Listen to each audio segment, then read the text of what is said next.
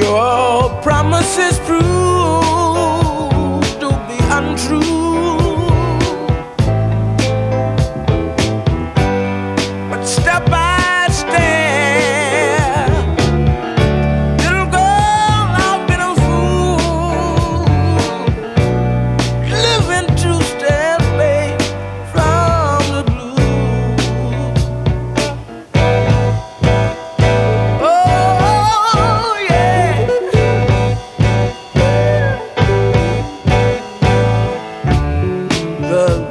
reason we didn't get along.